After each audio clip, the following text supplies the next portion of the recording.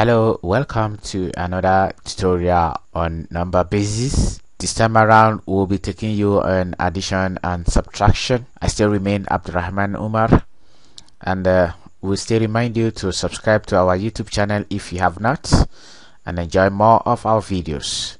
Thank you. And here we go.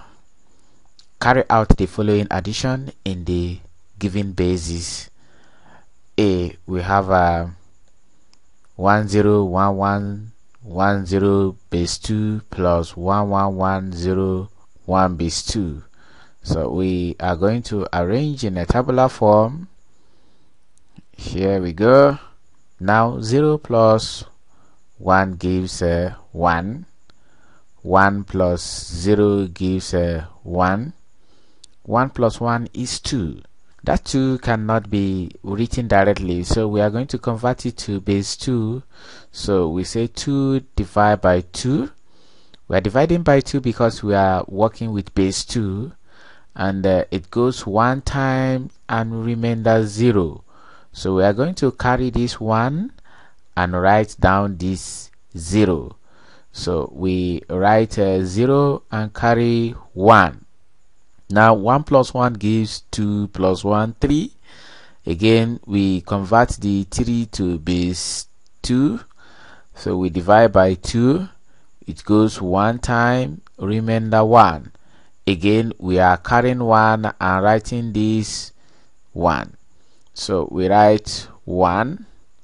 and carry 1 so 1 plus 1 gives 2 so this is here again. We carry 1 and write 0 so we write 0 and carry 1 1 plus 1 2 again.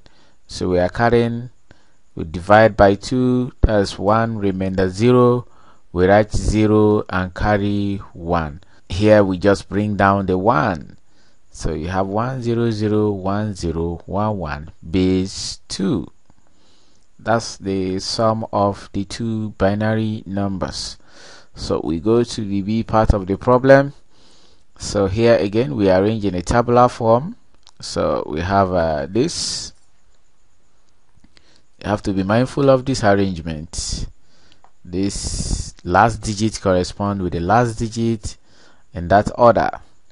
So here now we carry out the addition again 3 plus 6 gives 9 so we 9 is not one of the digits of octal number. So we convert the 9 to base 8 so we have 9 divided by 8 since we are working with base 8 we are dividing by 8 it goes one time remainder 1 so here we carry this one.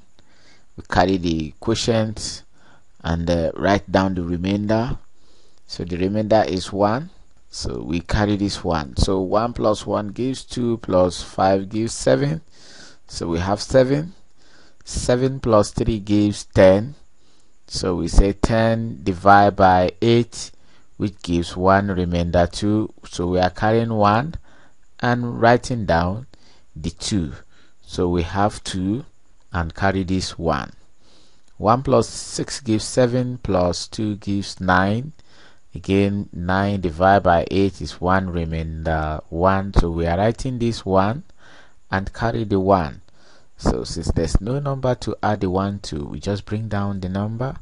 And we have 11271 base 8 as the result of the sum of this uh, octal number. So this method is the same with respect to any base you are working with so we now go to the second problem. The second problem we are to evaluate each of the following in the given basis. So we have uh, the problem A. So again we arrange the tabular form. And uh, please be reminded one two three four five six we have six digits here.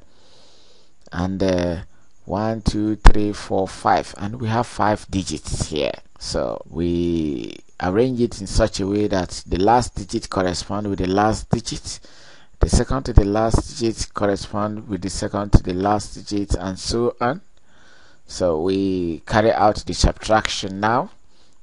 We cannot say 0 minus 1 so that would be impossible here.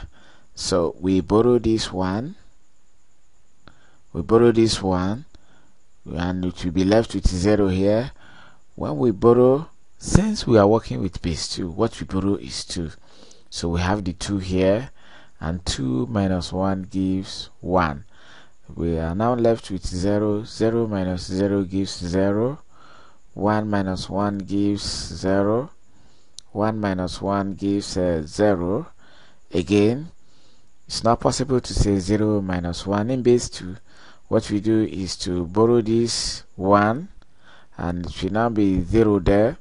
Bringing it here is 2 because the base we are dealing with is in base 2 so 2 minus 1 gives uh, 1 and base 2 this is the result of the difference between these numbers and base 2 so we go to problem B. We have a 6713 base 8 minus 2356 base 8 and uh, we arrange again in the tabular form. So we are going to we now carry out the subtraction. Here we are working with uh, base 8 and it is not possible to say 3 minus 6 in base 8 here. So we borrow this one. We are left with 0 there. Bringing it here it is 8 because we are working with base 8 so we now add this 8 to 3 which gives 11 so 11 minus 6 gives 5 so we have it as 5 this is 0 here now.